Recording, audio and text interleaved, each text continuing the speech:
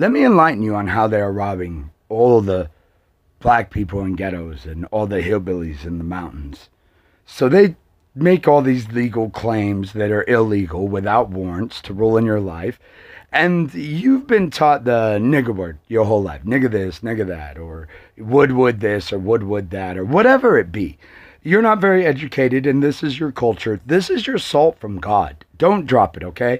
But when they bring you into the courtroom, that white privileged, usually white, there's black ones too, that white privileged judge, that white privileged lawyer, and cop and all them, and even your own DA or your own lawyer that you hire, whatever, try to tell you to lose your words. They put a bit in your mouth. So that little kid from the ghetto that used nigger here, nigger there, is no longer allowed to use it. They've made him defenseless. He can't even talk. And therefore, they could box him into the corner and beat the shit out of him.